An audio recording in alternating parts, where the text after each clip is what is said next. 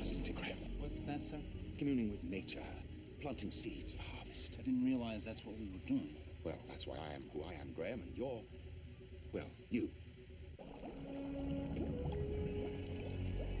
Arcane again. He never learns. You see, you undoubtedly fail to comprehend. The microbes in the algae have amazing potential. When stimulated with the correct oxygen phosphorus ratio, they'll eat anything fallow farmland, oil slicks, trash dumps. The genius who manages to find a cheap way to manufacture the little noshers can literally name his own price. Dr. Arcane, thermal indicators are rising rapidly. Increase the oxygen phosphorus ratio. Today!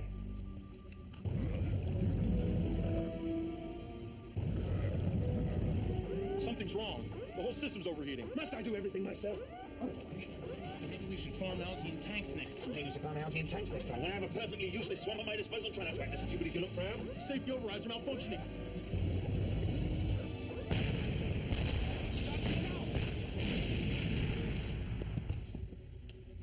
Somebody get help!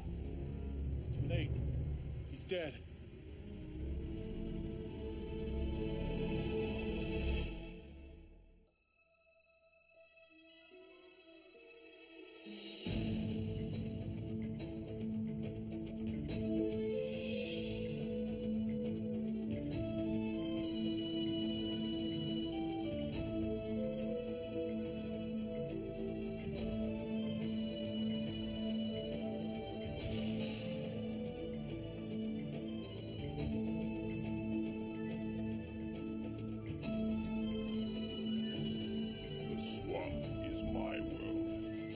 Who I am.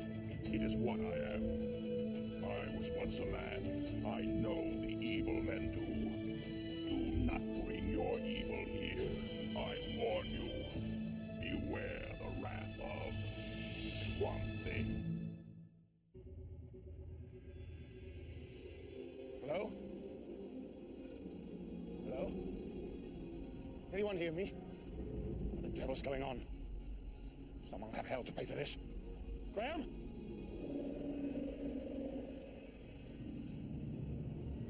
Well, that was rather pleasant. Now, steady on, Doctor. Think. There's a rational explanation for all of this. Look at that. Who's there? Who's that?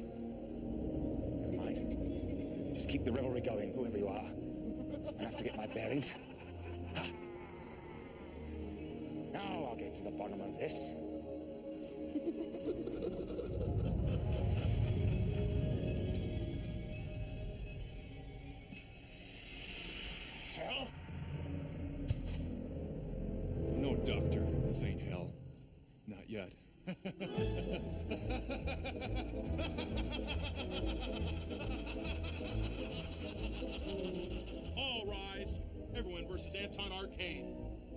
Tressa Kipp presiding. Tressa Kipp, for God's sake. What's the meaning of this charade? Don't about a thing, Doc. You? The hell you doing? What am I doing here? Anton Arcane, you are charged with a list of disgusting offenses against science, medicine, and humanity. Not to mention having an overblown ego. Do you plead? Defense pleads. Guilty! I did bloody well not. but you are guilty, Arcane. Guilty of what? It, you did it. Hold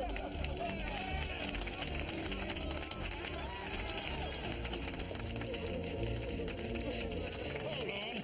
I don't know what kind of nightmare this is, but that's clearly all it is. Some absurd dream, some burst of beta brainwave activity. Council says you're guilty. This dim-witted juvenile delinquent could never represent me. But someone must defend you. As repulsive a job as that may be. Very well. Since I'm doomed to endure this bad theater, I'll defend myself.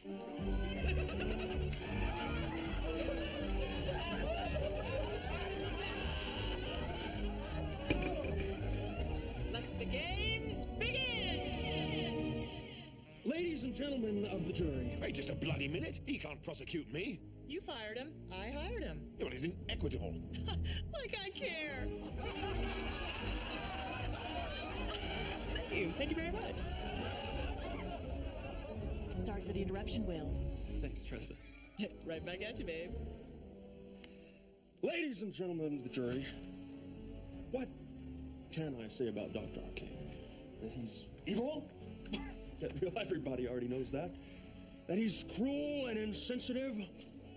Let's face it, the man's a heartless, greedy, vain piece of smelly cat litter. His presence in this swamp is an affront to us all.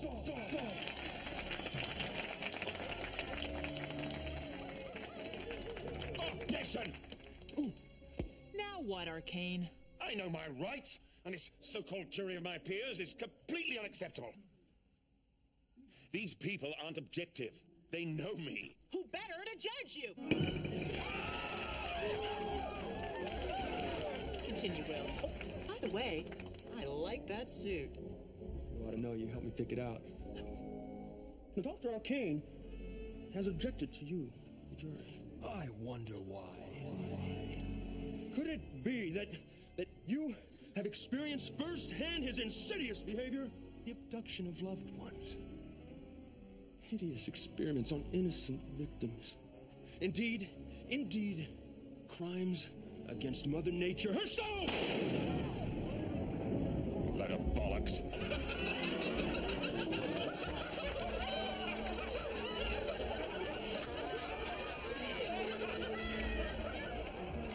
oh, stop overacting. Give it up, Arcane.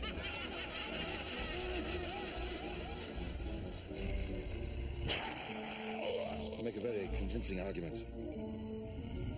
The prosecution calls its first witness, the defendant's mother. He was rotten. Even as a lad. I'm dreadfully sorry I even brought him into the world. Mother. Well, it's true. You're just like your father. Unreliable witness, Your Honor.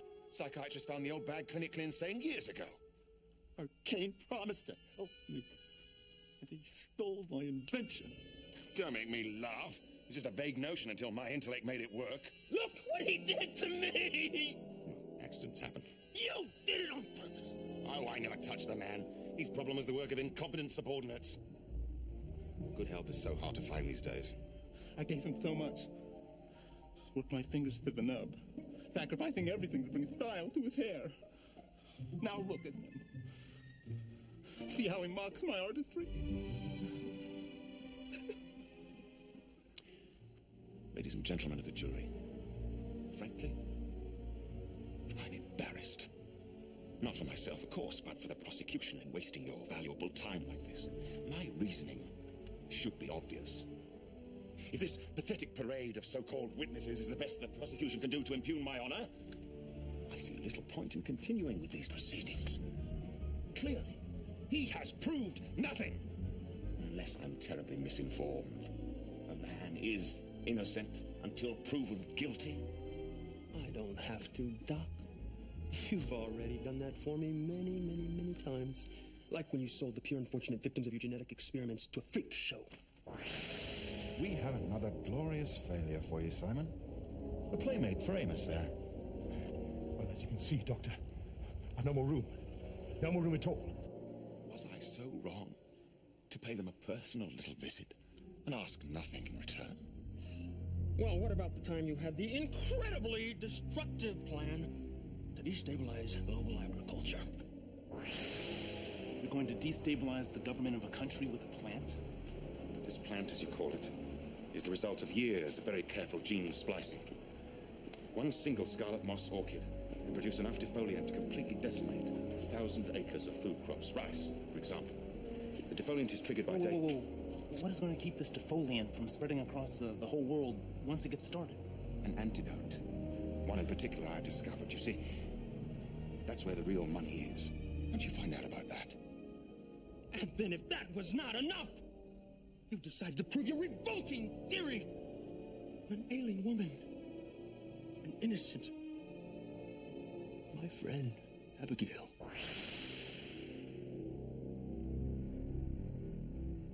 I won't stay any longer. Just stop by to pay my respects, see how the little girl was doing. Dr. Hollister thinks it's a pesticide reaction. Ah, we don't use any synthetic pesticides in my greenhouses. All our plants are autoimmune. Well, that's the future of agriculture, you know. Well, when she does wake up, uh, Perhaps you'd be good enough to inform her that this little present was from me. And then the district attorney was on to you, and you couldn't handle the pressure. What's the arcane solution? You simply plot and have the unsuspecting man murdered. But I'm going after him. Warrant subpoenas, the works. A month from now, he won't have a secret or a deal that I don't know about. And you can quote me on that. I'm gonna kill him. Stop it right there! Just look at his hair! Isn't it absolutely mortifying?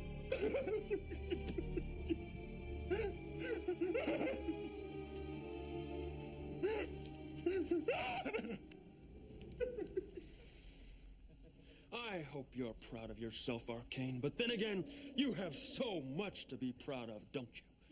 Like the time your plot to eliminate Kipp failed, you had her savagely attacked.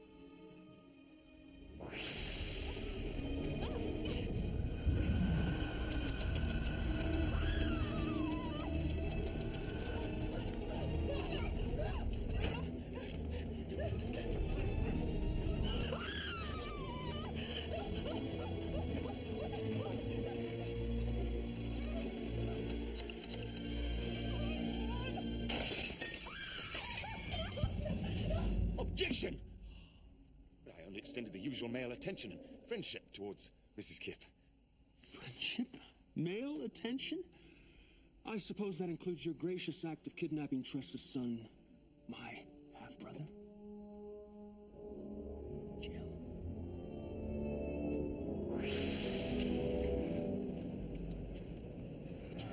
You're bigger than he is, so you stay here and keep your eyes open, okay? You drive the truck, and if you let anything happen to that kid in there, you'll be part of the next cargo, understand?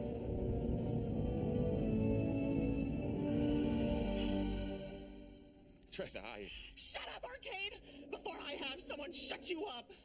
Oh, and for God's sake, please do something about that hair.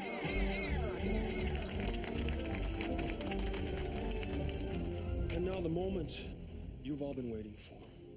A surprise witness who will seal our case against Dr. Anton Arcane once for all. The prosecution calls a special man, Dr. Alec Holland.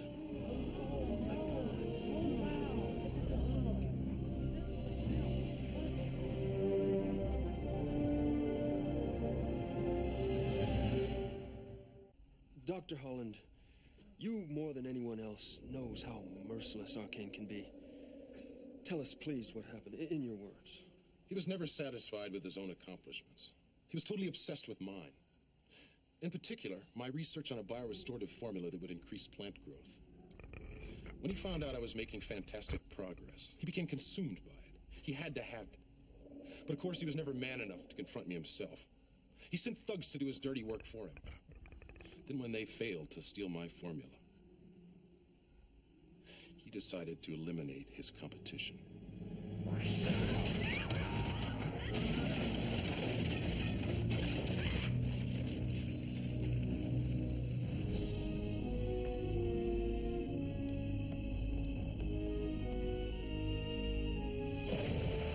Objection! On what grounds? On the grounds that this melodrama is irrelevant. At last, I remember how I came here. This isn't a dream at all. This is my life being judged. But I did nothing to warrant this. I, I was merely supervising an experiment. An experiment in killing innocent wildlife! experiment benefiting mankind. Do you people honestly expect me to mourn the loss of a lower life form?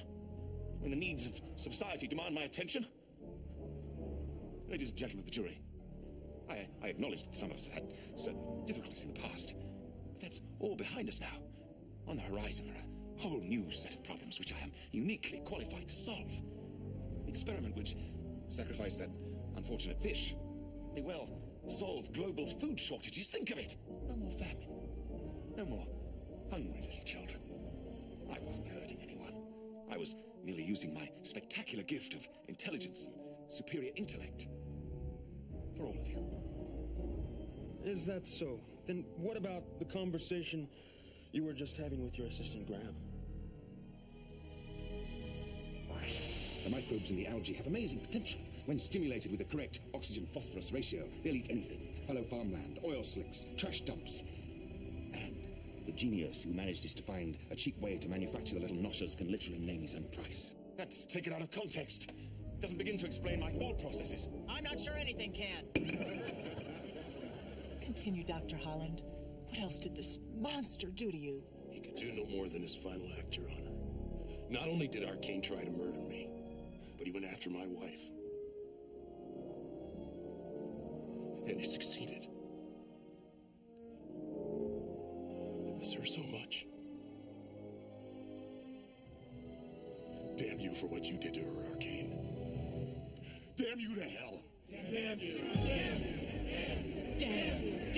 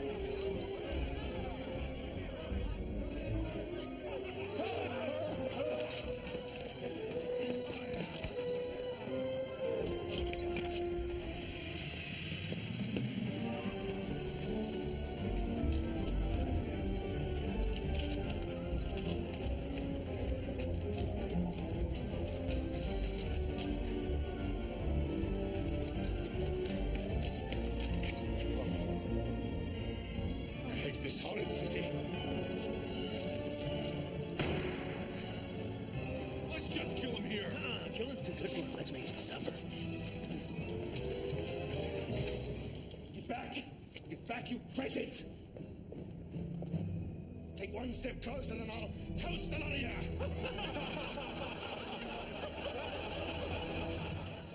Nice try, Doctor. Wasn't that a nice try, everyone? Has the jury found a verdict? We have. Guilty, guilty, guilty. What else? Well, there you have it, Arcane. I guess you should have done something about your hair when you had the chance.